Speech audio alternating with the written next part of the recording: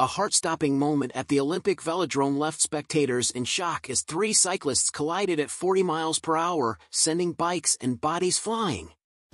Stick around to get the full story on this high-speed crash that could have ended in tragedy. Wondering what happened during the women's Keirin event that had everyone on the edge of their seats? Stay with us as we break down the terrifying crash, the aftermath, and how the riders are doing now. The scene unfolded at the St. Quentin-en-Yvelines Velodrome, where three cyclists collided at a staggering 40 miles per hour during the women's Keirin event.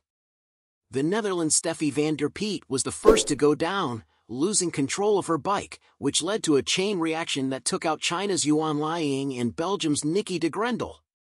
Van der Peet's crash was brutal, as she was thrown off her bike, causing her to smash into Yuan Liying. The collision sent debris flying, with Yuan hitting the ground hard and her bike shattered into pieces. Degrendele, trying to avoid the chaos, was eventually brought down, her head striking the ground as she went over the handlebars. Medics rushed to the scene, attending to the visibly shaken riders.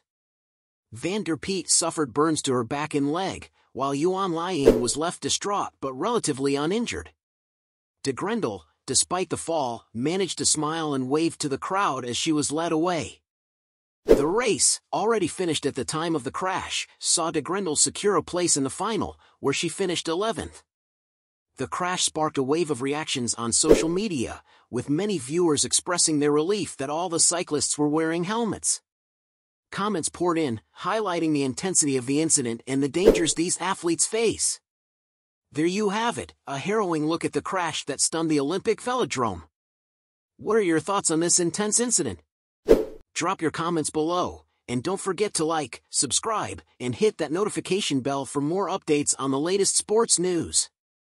Thanks for watching.